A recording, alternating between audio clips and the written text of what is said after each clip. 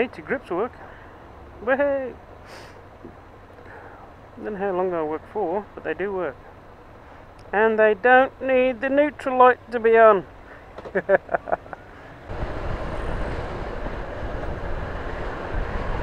Morning, folks. Why did I first decide to learn to ride?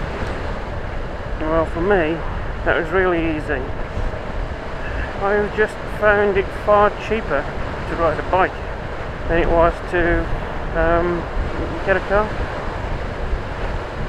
Like most kids my age, even though my mum and dad had always had bikes, or rather had bikes and then stopped to get a car, I wanted a car, but couldn't afford one. Everything was far too expensive on it, so I looked into it and I could get a bike. So for my 18th birthday, I went out and I bought a bike. Now, what I bought is in my bike history. That's no problem. You can look at that in bike history part one. But um, I decided to buy that bike, and the insurance was cheap enough, and the cost of running it was far cheaper, far far cheaper. And um, I decided that this was going to be a two-year deal because uh, you you, you just had at that point uh, came into law that you've got to take a two-part test. Not only that, that um, it wasn't a compulsory basic training, but you on, you only held your license for two years before you had to renew it. Nowadays, um, you got your license; it's just that you have to you know, re- retake your test. And um, coming up to the end of the first year, I thought, oh, I'll take part one. That won't be a problem because it was a birthday present from my mum and dad. Part one training, part one test, part two training. And I passed, and it was great. Then I continued on the same bike, uh, my Honda H100A. And then I went on to coming up towards the end of the second year, and I thought, oh, I'll just take it anyway. And so I went in for my part two test, which I passed, and then I could get any bike. But I just happened to go onto my dad's 250 Super Dream because that was there, and uh, that was great fun for a while. But I, I really got into biking by then. So why did I continue riding?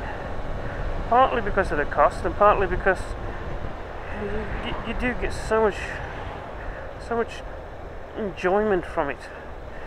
Like a lot of people that I've been watching recently, it's really, really hard to put into words what we feel. And for instance, I tried to explain to a bloke at work the other day. You go down uh, in your car in a long, twisty road, and the first thing you're thinking about after after it is where are you're going next. Where do you need fuel? Are you warm enough? What track is on the radio? Or on your CD player or whatever. On a bike, after you've gone down a long and twisty road, you think, that was enjoyable, turn around and do it again. How many people turn around and do it again? So, why do I continue to ride? Well, like I said before, it's something you can't put in, into words just really, really difficult. It's great fun. It's a great feeling. Even in the cold weather, like it is today, you just enjoy the ride. It becomes monotonous and boring when you have to have to do it every single day for work or whatever. Most of us um, can't afford not to, you know, but you have to take it for one reason or another. Third question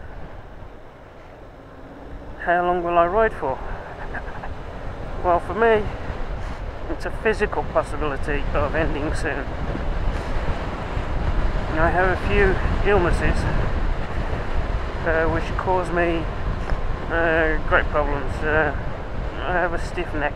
I can't move my, my neck properly. So it gives me limitations. I um, come into corners at particular angles so I can see. I stop at the easiest of junctions when other people would just go straight on. You know, continue to ride because all they do is do quick left, quick right, off they go. For instance, this one, I have to stop and physically check, make sure everything's okay before moving off. You just have to.